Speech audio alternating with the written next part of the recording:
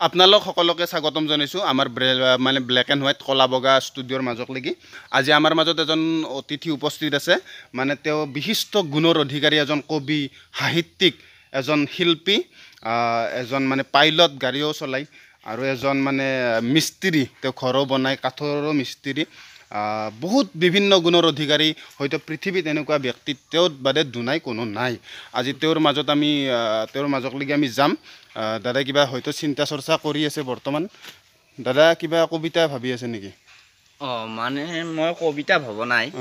মানে মই এইটো ভাবিছোঁ। আপোনাৰ গছডাল যে ৰুইছে। এই গছৰ তলত যে পাতবিলাক পৰিছে। এইবিলাকতো আপুনি চাফা নকৰে? চাফা মই ষ্টুডিঅ'ত আৰু পৰি থাকে ষ্টুডিঅ'ত মানে কি মই ভাবি আছোঁ এইবিলাক চাফা তেতিয়া হ'ব যেতিয়া এইটোৰ মূল্য আহিব। অঁ আপুনি এটা ভাল কথা কৈছে আমাৰ দাদাই যেতিয়া গছৰ পাতৰ মূল্য আহিব। তেতিয়া এইবিলাক চব চাফা হ'ব হয় সঁচা কথা। আপোনাৰ এই যিটো নাম খুব সুন্দৰ নাম প্ৰাপ্য সুপ্ৰেমিক প্ৰাকৃতিক শইকীয়া খুব সুন্দৰ এটা নাম এই নামটোৰ আৱিষ্কাৰ কেনেকৈ হ'ল? মানে মই পশুক ভাল পাওঁ। প্ৰাকৃতিৰ লগত থাকোঁ মই প্ৰাকৃতিকো ভাল পাওঁ। সেইকাৰণে পশু প্ৰেমিক প্ৰাকৃতিক শইকীয়া দিলে আৰু। মানে শইকীয়াটো মোৰ উপাধি। সেইকাৰণে পশু প্ৰেমিক প্ৰাকৃতিক শইকীয়া খুব সুন্দৰ নাম। দাদা এজন সঁচাকৈ আনকমন মানুহ। তেওঁ বিভিন্ন কবিতা লিখছি বিভিন্ন মানে সাংস্কৃতিক কাৰ্যত জড়িত। লগতে তেওঁ মানে কি বিভিন্ন কাম কৰে। মিস্ত্ৰীও কৰে হাজিৰা মিস্ত্ৰীও কৰে। সকলোবিলাক কৰে। চকত মাংস কাটে গধূলি। মানে চাওমিনৰো দোকান আছে। বিভিন্ন কাম কৰে। দাদাই মই এতিয়া ট্ৰাইপডডালত মই কেমেৰাটো থৈ লওঁ। মানে কি হাতটো অকণমান কপচি মোৰ। দাদাই মানে কি দাদাৰ দৰে মানুহ মানে এই পৃথিৱীত মানে দ্বিতীয়জন নাই। এওঁৱে মানে একদম মানে সেই আৰু। এইটো ভুল ধাৰণা। দ্বিতীয়জন আছিল। মানে মোৰ দেউতা আছিল। দেউতা মানে সৰুতে মোৰ বয়সত এনেকুৱা ভাল ভাল কামেই কৰিছিল কিন্তু বয়স যাই মিনি তেওঁ বুঢ়া হৈ গ'ল। এতিয়া তেওঁৰ মূল্য নাইকিয়া হৈ গ'ল। মানে এতিয়া কি আৰু ঘৰত বিচনাতে পৰি থাকে।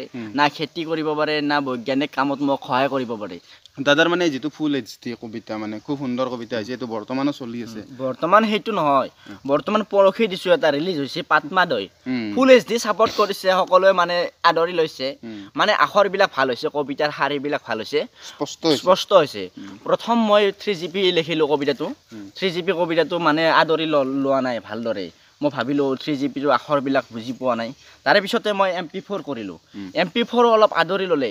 তাৰে পিছত ভাবিলোঁ মই এনেকৈ যদি আখৰবিলাক ভালদৰে হয় মানে স্পষ্ট হয় তেতিয়া মই ফুল এইচ ডি আৱিষ্কাৰ কৰিলোঁ। মানে কবিতাটোৰ নাম ফুল এইচ ডি দিলোঁ। ৰাইজে ভাবিলে ফুল এইচ ডি কিমান ধুনীয়া কবিতা এইটো। ফুল এইচ ডি ভালদৰে আদৰি ল'লে। তাৰপিছত সেইটো আদৰাৰ পিছতে মই এই কি বুলি কয় পাটমাদৈটো দি দিলোঁ পৰহি। পাটমাদৈৰ মই মানে দৰ্শকেও হয়তো জান মানে শুনবাৰ ইচ্ছা কৰিছে মোৰো শুনবাৰ বহুত ইচ্ছা আছে। পাটমাদৈ কবিতাটোৰ মানে অলপ শুনি দিব নেকি দুই এষাৰ? পাটমাদৈ। মই ক'লে আৰু কবিতাটো নাচাবই নহয় ৰাইজে। চাব চাব ৰাইজ আপোনালোকে কবিতা মই বেছি নকওঁ অকণমানে ক'ম। অলপ কৈ দুই শাৰী পাটমাদৈ মোক এৰি নাযাবি ঐ। মই তোৰ স্বামী ঐ মোৰ চাকৰি হ'ব ঐ।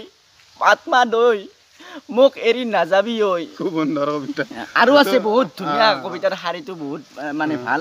কিন্তু মই ৰাইজ আপোনালোকে বেয়া নাপাব। কাৰণ মই এই কবিতাটো যে আপোনালোকৰ আগত কৈ দিওঁ না আপোনালোকে এইটো এই- এই- এইটো পাটমাদৈটো গ্ৰহণ নকৰিব কিতাপখনটো গ্ৰহণ নকৰিব। সেইকাৰণে মই অকণমানেই কৈছোঁ খুব। সুন্দৰ যিটো আপুনি লাইন এটা।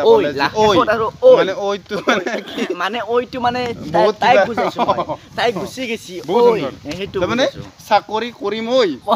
চাকৰি কৰিম। ঐ মানে কি ঐ মানে বহুত। অৰ্থ লুকি বহুত। অৰ্থ মানে পাষ্টতো যায়। চাকৰি কৰিম ঐ। মানে চাকৰি বৰ্তমান হোৱা নাই।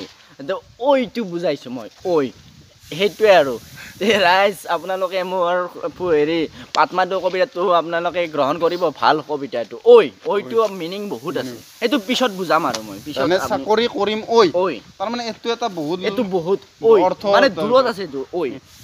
ঐ মোক মোক এৰি নাযাবি ঐ বুজিছেনে ঐ এই ঐটোৰ এইটো ঐটোৱে মই তাৰমানে এই পাটমাদত মানে দিছোঁ আৰু উম। ভাল হৈছে বস্তুটো ভাল হৈছে আমি মানে এতিয়া দাদাৰ সংসাৰৰ কথা অলপ জানবা বিচাৰিম তিৰি চলি কিবা কিবি তিৰি চলি মানে ক'বলৈ গ'লে মোৰ তিৰি নাই বৰ্তমান চলিও নাই কাৰণ বিয়া কৰিলে চলি হয় সেইটোৱে আৰু। মই কবিতাৰ ভাষাৰে কৈছোঁ আৰু দাদা। খুব মানে কবিতা লিখে তো।